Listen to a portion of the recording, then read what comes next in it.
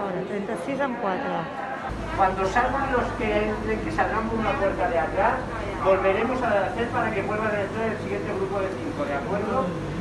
Vale, yo les ruego paciencia, pero ya saben cómo están las cosas, ¿de acuerdo?